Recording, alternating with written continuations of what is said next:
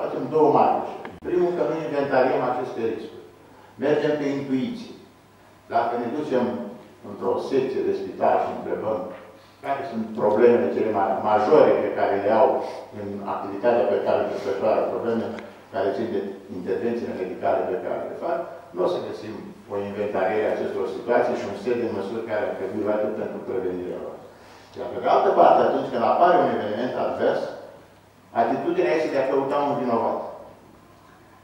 Uh, ceea ce duce la ascunderea acestor evenimente adverse și la imposibilitatea de a învăța din erori. Toate studiile arată că apariția unui eveniment advers este vina individului în proporție de 20% și vina sistemului, sistemului în care lucrează, organizației în care lucrează în proporție de 80%.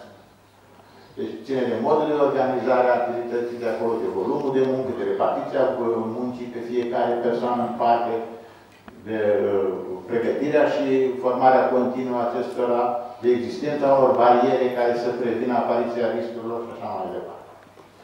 Deci, managementul riscurilor clinice este o componentă importantă a guvernanței clinice.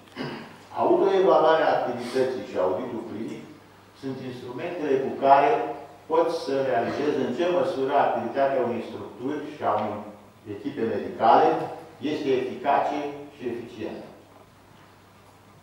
De ce le pun pe amândouă la un loc autoevaluarea și auditul clinic?